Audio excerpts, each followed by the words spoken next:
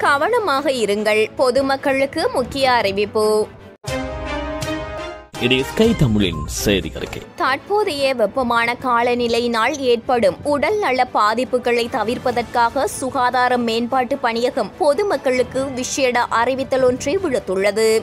அதாவது தாகம் ஏற்படும் வரை காத்திருக்காமல் தொடர்ச்சியாக நீர் மற்றும் இளநீர் போன்றவற்றை அருந்தவும். தாகத்துக்கு சோடா போன்ற பானங்களை அருந்துவதை தவிர்க்கவும். பயணிக்கும் போது அருந்துவதற்கு போதுமான நீரை உங்களுடன் வைத்திருக்கவும். முற்பகல் பதினோரு மணி முதல் பிற்பகல் மூன்று மணி வரை வெளியில் செல்வதை குறைத்துக் கொள்ளவும். அத்துடன் வெயில் காலத்துக்கு ஏற்ற பருத்தி ஆடைகளை அணியுமாறு சுகாதார மேம்பாட்டு பணியகம் மக்களை கேட்டுக்கொண்டுள்ளது இதனிடையே தற்போதைய வெப்பமான காலநிலையின் போது நீர்ப்போக்குதலை தடுக்க போதிய கனிமங்களுடன் கூடிய திரவங்களை அதிக அளவில் உட்கொள்ளுமாறு பொதுமக்களுக்கு லேடி ரிச்வே மருத்துவமனை ஆலோசகர் மற்றும் குழந்தை மருத்துவரான திபால் பெரேரா அறிவுறுத்தியுள்ளார். குழந்தைகளுக்கு அதிகளவில் தண்ணீர் வழங்க வேண்டும். நெற்செய்கை வீதி அமைத்தல் பாடசாலை மாணவர்கள் விளையாட்டு மைதானங்களில் விளையாடுதல் படைகளால் நடத்தப்படும் பயிற்சி அமர்வுகள் விளையாட்டுப் போட்டிகள் மற்றும் புத்தாண்டு விளையாட்டு அமைப்பாளர்கள் மற்றும் பங்கேற்பாளர்கள் போன்றவற்றில் மக்கள் ஈடுபடும் போது அதிகப்படியான நீரை பருக வேண்டும் எனவும் அவர் தெரிவித்துள்ளார்.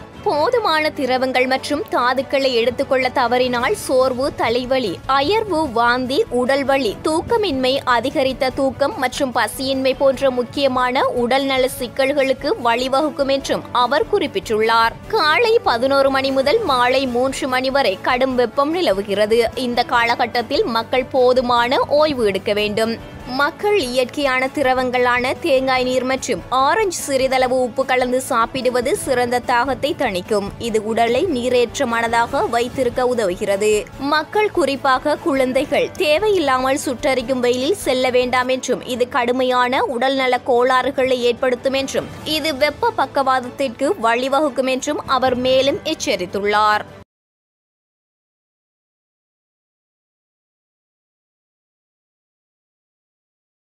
உடனுக்குடன் செய்திகளை பெற்றுக்கொள்ள எமது யூடியூப் பக்கத்துடன் இப்போது இணைந்திருங்கள். ஸ்கை தமிழ் தனித்துவமே நமது அடையாளம்.